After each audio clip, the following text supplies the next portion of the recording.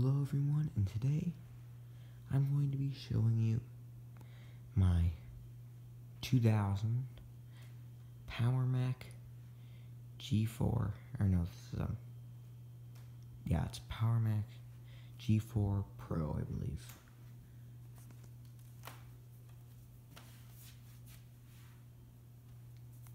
I got this computer for the low, low price of free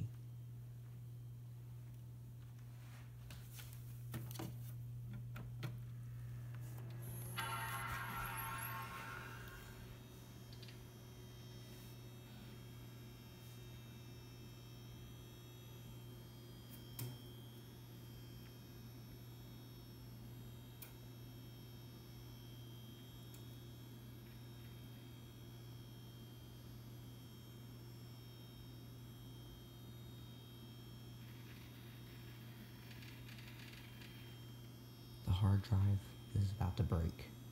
Sounds really bad and it's original.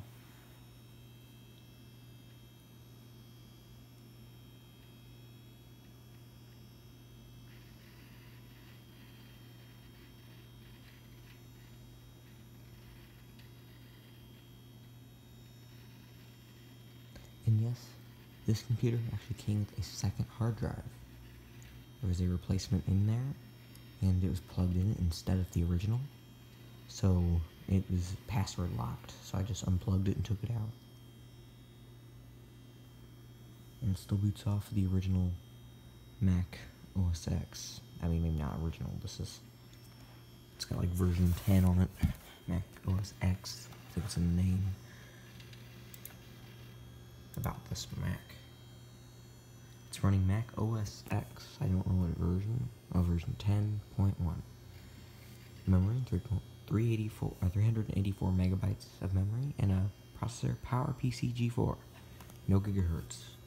Doesn't say why. Anyway, this is the computer.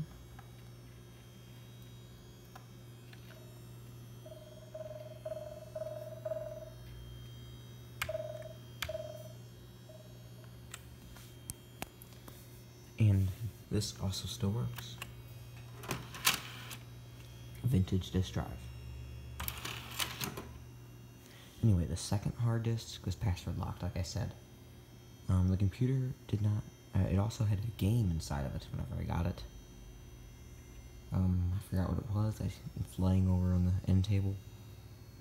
And, uh, my neighbor gave this to me for free because they didn't want it anymore. They were just gonna throw it in the trash.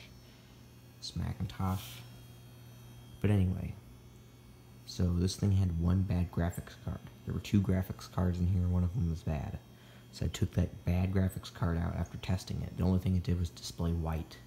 But the graphics card had like a blown resistor on it, so I just took it out, considering there was a second one in here. And in place of it, I just took a dummy panel out of an old broken Dell, and put that in there. So it still has a graphics card. It also has DVI and VGA. That's it. But that's good. And it's running off VGA. But the computer is functional and the hard drive's probably going to die soon enough. So I'll try to figure out a way to copy the data from the original hard drive while it still works and put it onto the other drive. Just because it's pretty clean yet. But here, go ahead and shut it down. And yes, this is a Logitech mouse. That's all I had.